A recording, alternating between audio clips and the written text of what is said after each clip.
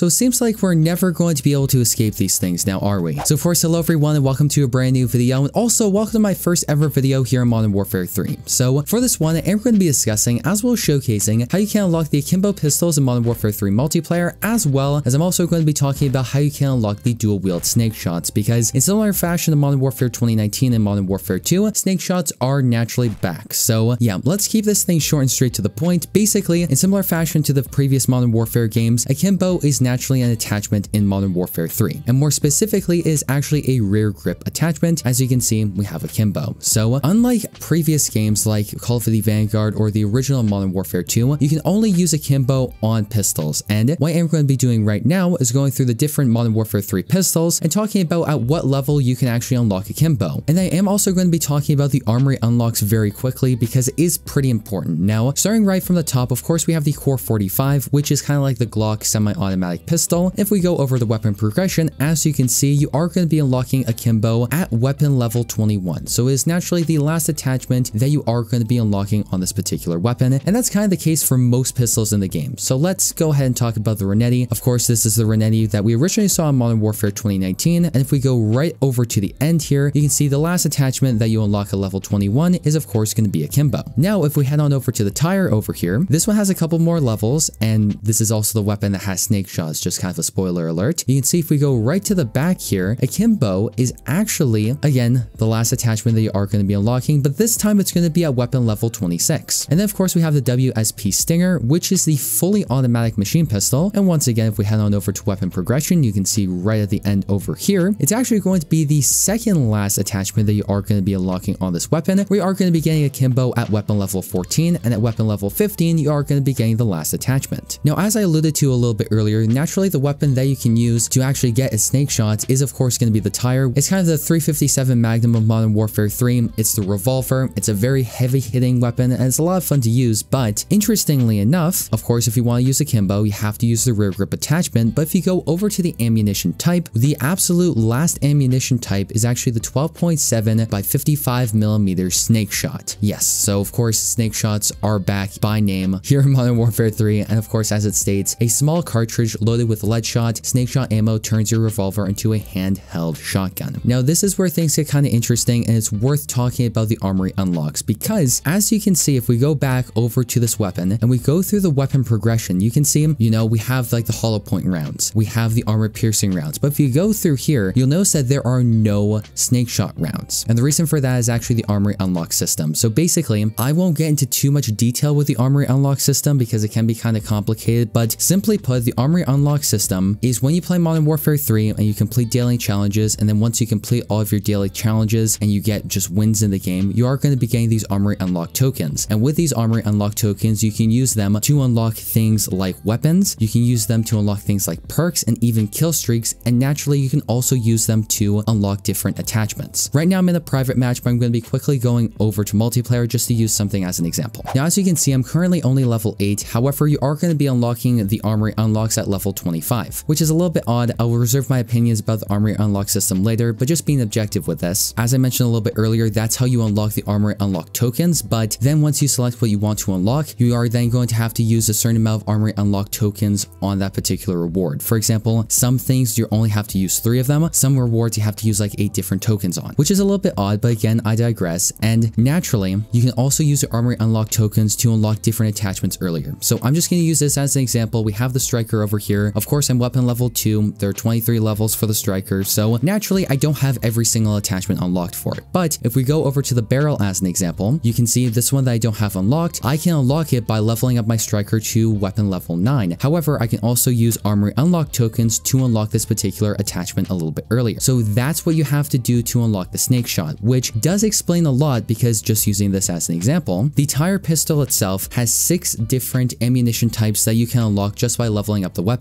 However, it has nine different ammunition types that you can use. So you can see the discrepancy in that is of course going to be through the armory unlock tokens. That's how you are going to be unlocking the snake shot. So just as a little bit of a rundown, of course, every single pistol in Modern Warfare 3, you can use Akimbo. All you have to do is just level up that pistol and they are going to be unlocking the Akimbo attachment, or you can use your armory unlock token to unlock the Akimbo attachment a little bit sooner. Now, specifically for the TYR, which is of course the weapon that you can use snake shots for, you're going to have to use your armory unlock token so that way you can unlock the snake shot attachment. And then once you get all that together, you can use akimbo snake shots in Modern Warfare 3, just like it's Modern Warfare 2 or Modern Warfare 2019 or Warzone all over again. So that's why I will say it's kind of a little bit of an odd tutorial video because I can't just say, oh, you have to unlock it by completing this challenge because again, the armory unlock tokens are tied to the daily challenges, which change all the time. So with that being said, guys, that's going to effectively wrap up today's video. I hope you went on to enjoy it. And if you did, don't forget to leave a like on it down below, as well as be sure to subscribe. And also be sure to turn on post notifications for all the latest and greatest Modern Warfare 3 content. So thank you once again for watching. I'm your host, Deeper Jungle. As always, I hope to see you in the next one.